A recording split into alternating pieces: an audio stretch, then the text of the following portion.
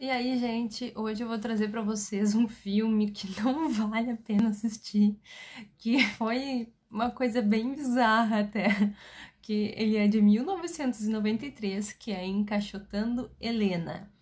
Eu tinha uma visão completamente diferente desse filme.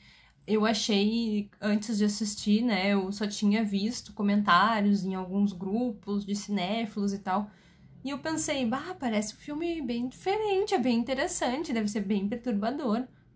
É um filme esquisito, não chega nem a ser perturbador, porque ele é esquisito mesmo. Eu fui ver o filme, né? Aí ainda escolhi um sábado à noite para assistir esse filme e eu, bah, que furada que eu fui dar.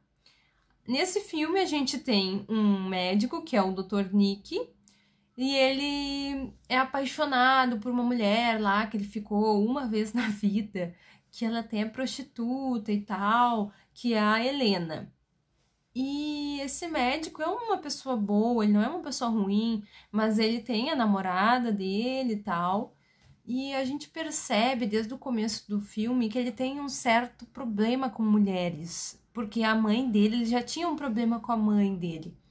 Então eu acho que ele refletia aquilo nas mulheres. Eu não, não sei, mas que ele tinha algum complexo, com certeza ele tinha.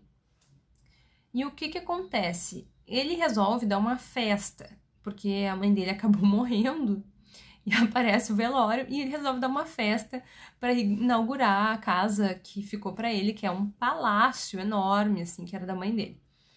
Até aí, OK.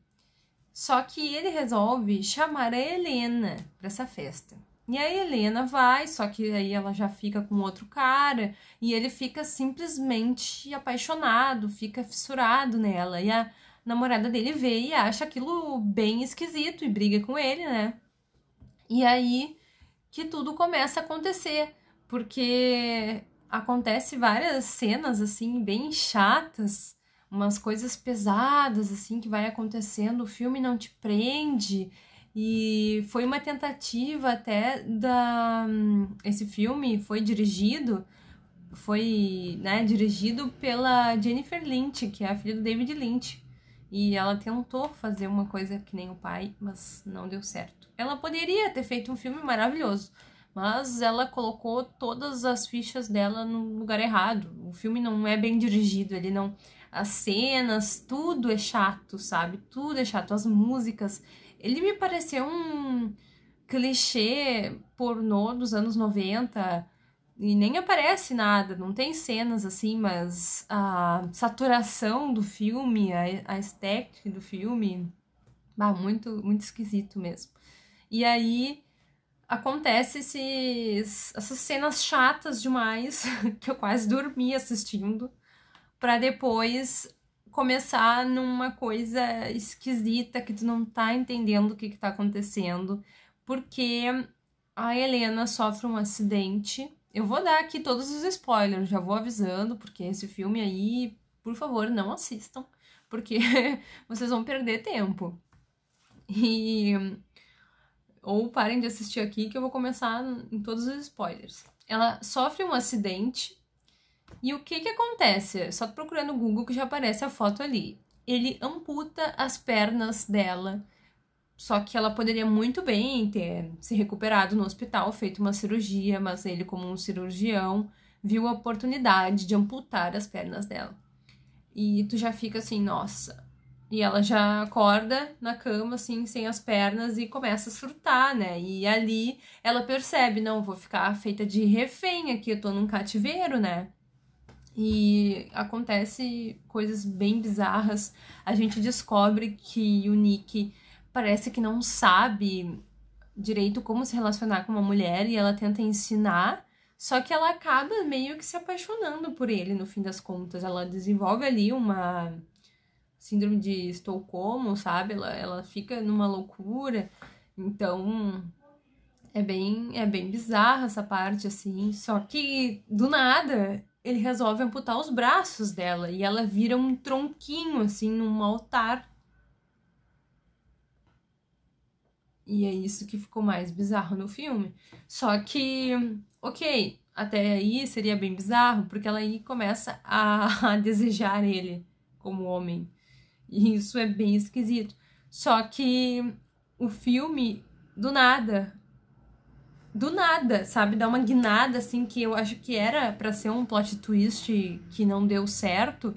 E o Nick acorda no hospital com o médico, o Dr. Alan, falando para ele que ah, a Helena está na sala de cirurgia. Aí tu fica assim, hã? E sim, era tudo um sonho da cabeça do Nick. Então eu pensei, meu Deus, sabe? O filme não tem coerência, não tem nada, porque eles poderiam então ter feito de outra forma, porque não, ah, é muito podre, é muito ruim. E é muito ruim mesmo. O Nick é o Julian Sands, eu nunca tinha visto nenhum filme com ele. A Helena é uma jovem muito bonita, até me lembrou bastante a Priscilla Presley, que é a Sherilyn Finn. Nunca vi também filme com ela. E tem o Kurtwood Smith, que é o único conhecido ali meu, que ele fez o Rambo, fez o The Crush. Então, não, não conheço esses outros. Só que agora eu preciso contar para vocês uma coisa bem esquisita que eu descobri pesquisando sobre o filme e isso apareceu ali no Google e eu, nossa, que que é isso? Que aconteceu uma situação lá em, nos anos 90 que é o maníaco da Ilha do Boi. Eu nunca tinha ouvido falar nisso. Acho que foi em 95. E esse cara, o Antúlio Gomes Pinto, ele resolveu sequestrar uma menina, sequestrou essa menina, ela ficou presa muito tempo, muito tempo. Ela ficou mais de 10 anos presa. E ele fez três filhos nela. Todos nasceram com deficiência. Ele não dava o que comer para ela.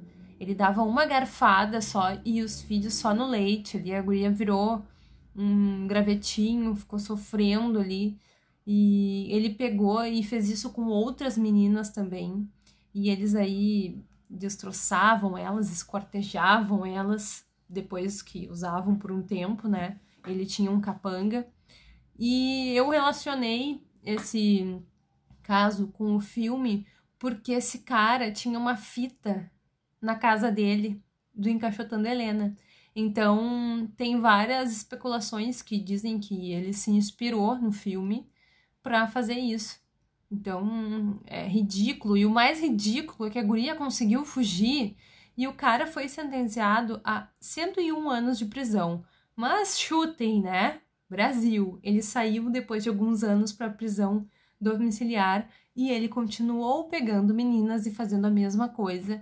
Conseguiu matar mais algumas e aí foi preso novamente. Eu fico muito indignada com essa política aqui do Brasil.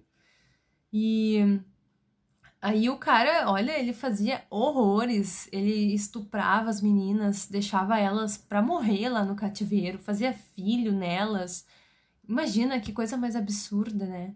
E ainda era inspirado nesse nesse filme, então nossa, muito bizarro, né? Pra ver como é perigoso ter esses filmes e essas ideias e vai lá um maníaco doido e, e faz as coisas que o cinema fez, né?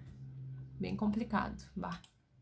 Mas é isso que eu queria mostrar para vocês, queria relacionar um pouco com o filme, mas acho que o filme não vale a pena assistir mesmo. Eu sempre falo que vale a pena, mas esse, bah, eu fiquei bem chateada de ter perdido meu tempo assistindo. que bom que eu posso avisar vocês.